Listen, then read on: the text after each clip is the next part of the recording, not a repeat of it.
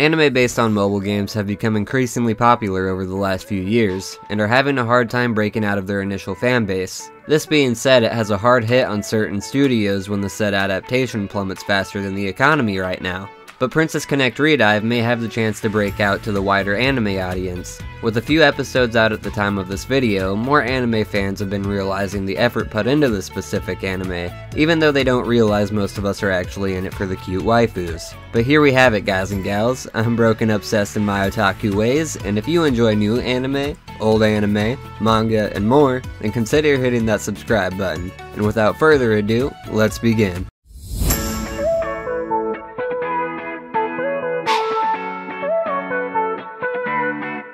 Princess Connect Redive is originally a mobile game now getting its own anime series. The producer of this anime is none other than Takaomi Kanasaki himself, and if you're unaware of who this man is, then number one, shame on you. But number 2, he is the producer of the best isekai ever known to man, this being Konosuba. Knowing the producer of this show, you should be able to catch some similarities between Konosuba and Princess Connect, with one of the major factors being the lovable losers and over-exaggeration of some of the movements and behaviors of the characters, you know it's going to be based heavily on the comedy aspect, which honestly is fantastic, because it's been a while since I've laughed as hard as I did while watching Konosuba. Cat girls, flesh fangs, all traits of waifu material are also included if you catch my drift. Were you a fan of Aqua? Well, there's even an injured goddess here for all of you useless Aqua fans out there even though we know Megumin's best girl in Konosuba, but that's besides the point. Priconne is set in a world with our main protagonist Yuki having amnesia and being dropped off in a different world. So far from the most recent episodes, we can gather that Yuki is not much of a talker, so we will most likely be learning more about him through his actions rather than his words. So be sure to pay attention, but don't forget about the waifus, or the anime gods will be highly disappointed in you.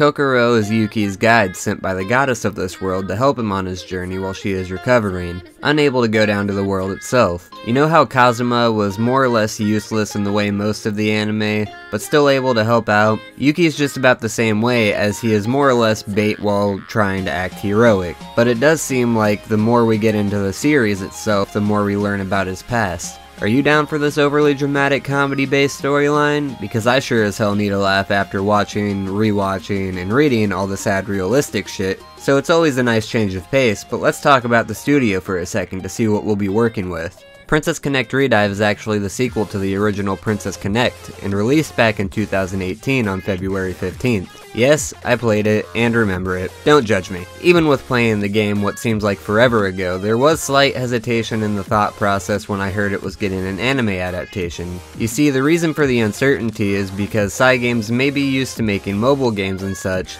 but it was only back in 2016 when they announced that they would be starting their very own anime studio and we all know how newer studios can come in, think they run shit, and leave us all disappointed, so forgive me for being skeptical. However, after digging a little more into their background, they do have some working shows that came out alright, and just to list a few of them, we have March Comes In Like a Lion, Cygames being the second key animators, Baki back in 2018, weird to think that it was two years ago, seems like just yesterday to me, but some of their more recent work included being the second key animators in ID: Invaded. Little fun fact for you all if I lost some of you while saying that, second key animators are the people who more or less clean up the work of the illustrator, therefore allowing them to pump out more of the anime and manga we love so much. So it is a pretty important job, and in the shows I just listed, they seem to be doing pretty well at it. That being said, it didn't fully stop the skepticism because there is always that chance to mess up. We all know how disappointed it can be when we see the announcement of a show and get really hyped up,